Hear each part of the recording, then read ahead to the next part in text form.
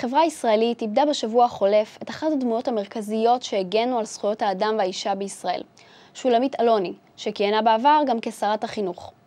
בימים בהם אנשי רוח או פוליטיקאים סופדים לה ומעלים על נס את חתירתה לחיזוק החינוך לדמוקרטיה, מהדהדת הפרשה של המורה לאזרחות ומחשבת ישראל, אדם ורטה, מקריית טבעון, שמועמד לפיטורין בשל הבעת דעות שנויות במחלוקת בפני תלמידיו.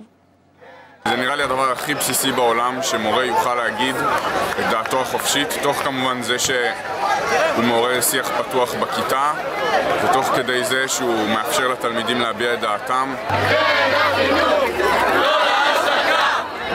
אז מורה בשביל לגעת באמת בנושאים החשובים והערכיים של המדינה הזאת צריך לדעת שיש לו גיבוי, שהוא לא נכנס לתסבוכת וכל תלמיד או תלמידה לא מרוצים יכולים לפטר אותו. אי אפשר לחיות במדינה הזאת ולחנך במדינה הזאת בלי לגעת בסוגיות שהן שנויות במחלוקת. האתגר הגדול באמת הוא להצליח ליצור אווירה בכיתה שמקדשת, לא פחות ממקדשת, את היכולת לנהל ויכוח דמוקרטי, תרבותי, מכבד, אה, לשים את הקו הדק מאוד בין ויכוח לריב, ולאפשר לתלמידים אה, להרגיש בנוח גם להתווכח איתי לפעמים. המקרה של אדם ורטה אינו בודד.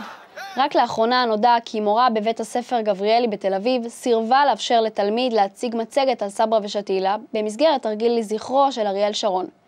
בימיה של השרה אלוני, זיכרונה לברכה, חוזקה היחידה לדמוקרטיה ודו-קיום במשרד החינוך, שהוקמה בעקבות דוח קרמניצר ללימודי האזרחות. עם זאת, במהלך השנים היחידה נבלעה במינהל החינוך ערכי להעשרה יהודית ציונית ולבסוף פורקה.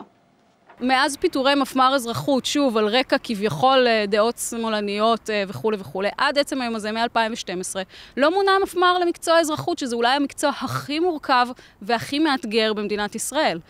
אה, אז מה המסר שאתה מקבל? מצד אחד את המענה המקצועי מקצצים לך, ומהצד השני, כשאתה נשאר בסוף אה, עובד עצות בכיתה, לא ברור שיהיה מי שיגבה אותך.